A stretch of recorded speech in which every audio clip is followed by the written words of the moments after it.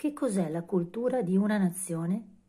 Correntemente si crede, anche da parte di persone colte, che essa sia la cultura degli scienziati, dei politici, dei professori, dei letterati, dei cineasti, eccetera. Cioè che essa sia la cultura dell'intelligenza. Invece non è così. E non è neanche la cultura della classe dominante, che appunto, attraverso la lotta di classe, cerca di imporla almeno formalmente. Non è infine neanche la cultura della classe dominata, cioè la cultura popolare degli operai e dei contadini. La cultura di una nazione è l'insieme di tutte queste culture di classe, è la media di esse. E sarebbe dunque astratta se non fosse riconoscibile, o per dir meglio visibile, nel vissuto e nell'esistenziale, e se non avesse di conseguenza una dimensione pratica.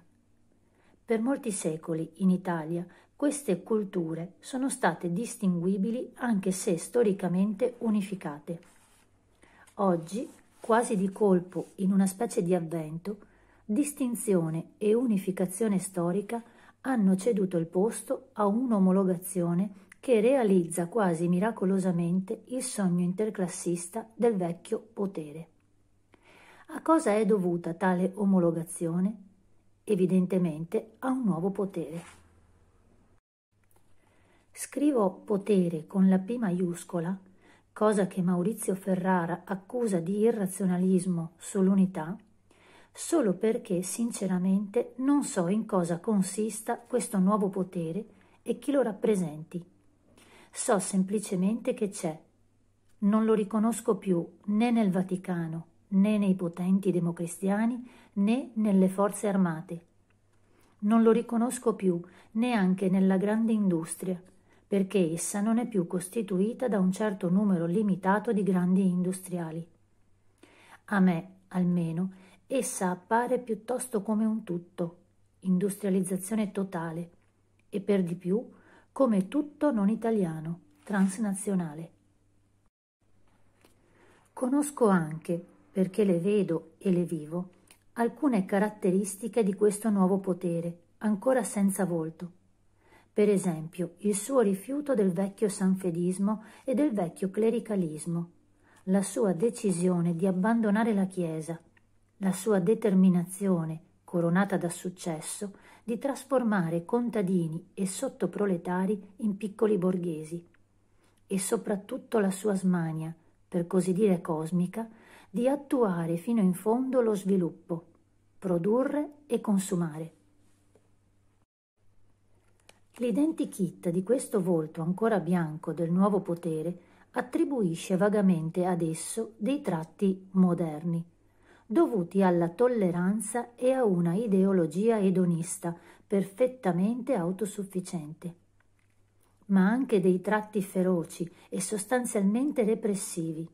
La tolleranza è infatti falsa, perché in realtà nessun uomo ha mai dovuto essere tanto normale e conformista come il consumatore. E quanto all'edonismo, esso nasconde evidentemente una decisione a preordinare tutto con una spietatezza che la storia non ha mai conosciuto.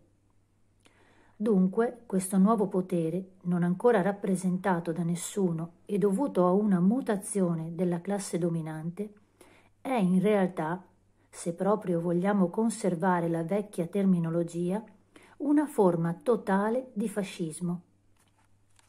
Ma questo potere ha anche omologato culturalmente l'Italia. Si tratta dunque di una omologazione repressiva, pur se ottenuta attraverso l'imposizione dell'edonismo e della gioia de vivre. La strategia della tensione è una spia anche se sostanzialmente anacronistica, di tutto questo. Maurizio Ferrara, nell'articolo citato, come del resto Ferrarotti in Paese Sera, mi accusa di estetismo e tende con questo a escludermi, a recludermi. Va bene, la mia può essere l'ottica di un artista, cioè, come vuole la buona borghesia, di un matto ma il fatto, per esempio, che due rappresentanti del vecchio potere, che servono però ora in realtà benché interlocutoriamente il potere nuovo, si siano ricattati a vicenda a proposito dei finanziamenti ai partiti e del caso Montesi, può essere anche una buona ragione per fare impazzire. Cioè screditare talmente una classe dirigente e una società davanti agli occhi di un uomo da fargli perdere il senso dell'opportunità e dei limiti, gettandolo in un vero e proprio stato di anomia. Va detto inoltre che l'ottica dei pazzi è da prendersi in seria considerazione, a meno che non si voglia essere progrediti in tutto fuorché sul problema dei pazzi, limitandosi comodamente a rimuoverli. Ci sono certi pazzi che guardano le facce della gente e il suo comportamento, ma non perché epigoni del positivismo lombrosiano, come rozzamente insinua Ferrara, ma perché conoscono la semiologia. Sanno che la cultura produce dei codici, che i codici producono il comportamento, che il comportamento è un linguaggio e che in un momento storico in cui il linguaggio verbale è tutto convenzionale e sterilizzato, tecnicizzato, il linguaggio del comportamento fisico e mimico assume una decisiva importanza. Per tornare così all'inizio del nostro discorso, mi sembra che ci siano delle buone ragioni per sostenere che la cultura di una nazione, nella fattispecie l'Italia, è oggi espressa soprattutto attraverso il linguaggio del comportamento o linguaggio fisico, più un certo quantitativo, completamente convenzionalizzato e estremamente povero, di linguaggio verbale. È un tale livello di comunicazione linguistica che si manifestano a. la mutazione antropologica degli italiani b. la loro completa omologazione a un unico modello.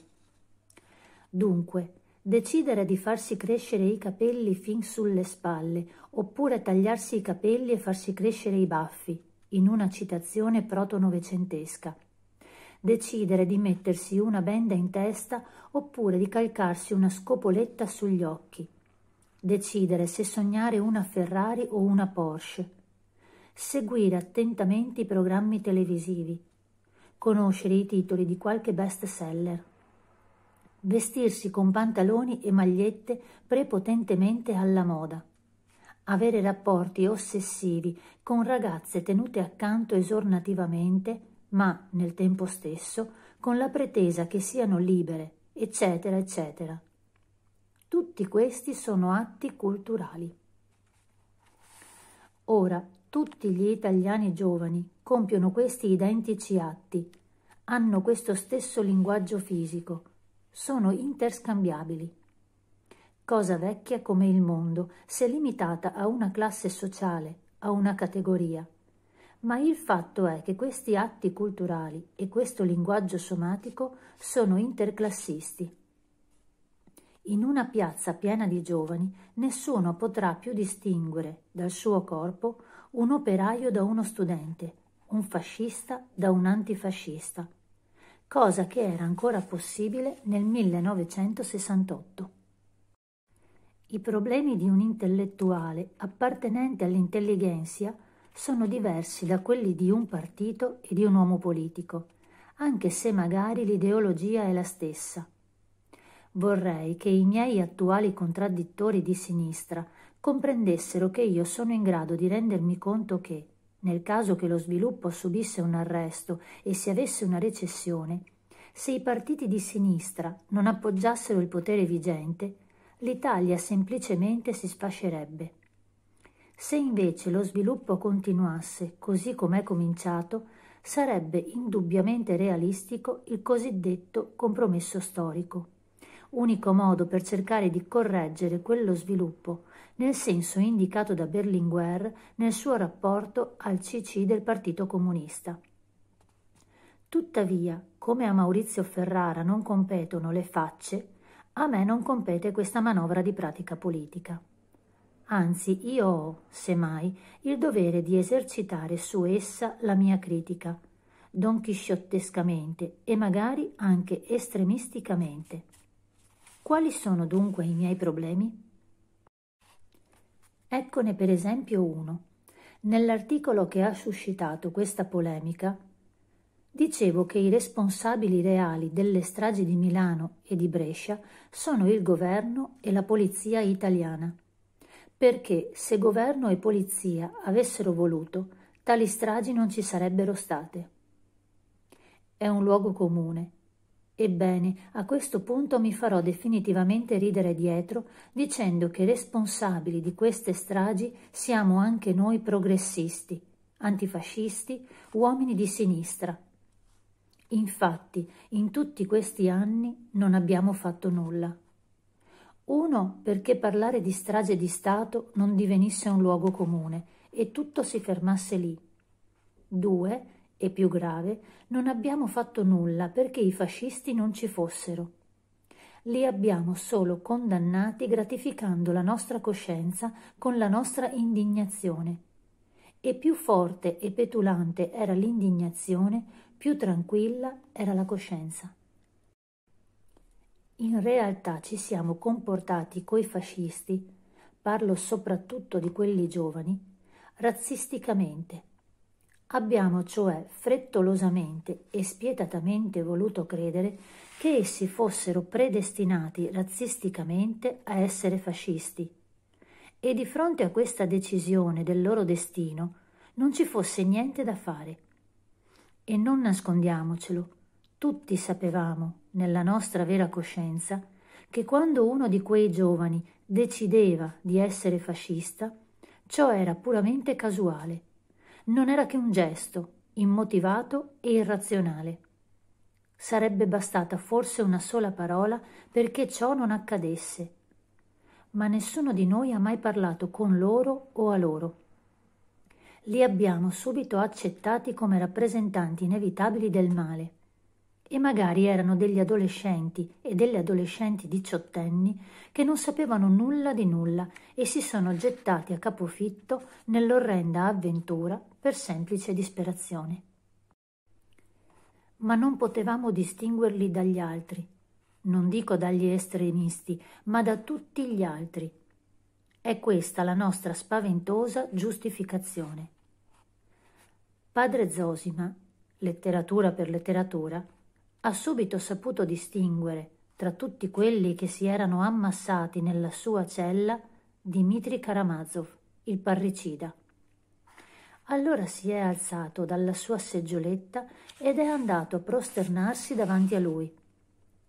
E l'ha fatto, come avrebbe detto più tardi al Karamazov più giovane, perché Dimitri era destinato a fare la cosa più orribile e a sopportare il più disumano dolore.